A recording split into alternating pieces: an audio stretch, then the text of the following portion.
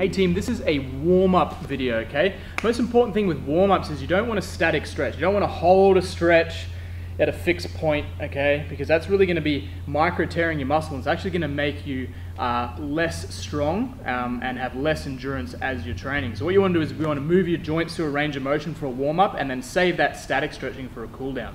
So number one, I like to warm up my shoulders. First things first, I like to do some horizontal swings, just hands over top of each other, 10 to 20 backwards and forwards. It's really warming up your chest and your shoulders here. And after you've done 10 of those, switch to vertical swings. Now you can go same time or you can alternate like this.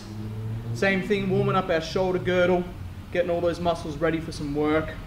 Now after you do 10 each direction, horizontal and vertical, you can do some circles. So I like to do 10 to 20 circles forwards.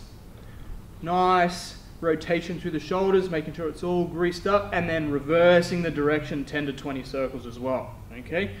After you do those three movements, your shoulders, you'll feel a little bit of a burn in there, but it's not going to be fatiguing you. And after about a minute, that'll go away, and then you'll be ready to really do some stuff like some bench pressing or some strong punching. Okay, now that's our shoulders done. What we also want to do is our hips. Shoulders and hips are the two most important things with athletic performance. So with our hips, you want to do the same thing. Each leg you want to swing forwards and backwards 10 times.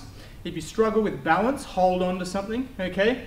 10 to 20 times forwards and backwards. The most important thing is make sure your hip joint stays in the one spot. Don't tip forwards and backwards like this, okay? Just stay straight, forwards and backwards here, 10 times.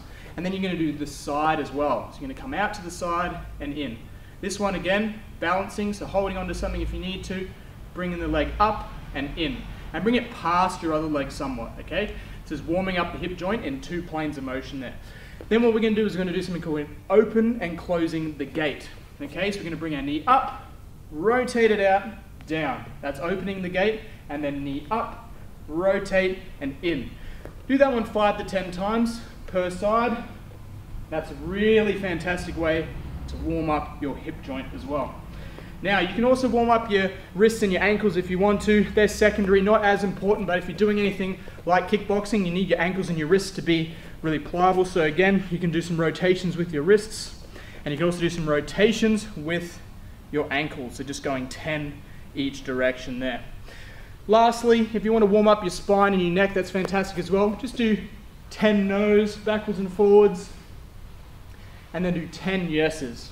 Chin to the sky, chin to your chest. Okay, that's moving all your joints to a really good range of motion. That's going to be a fantastic warm up before you get into any resistance training or into any martial arts training.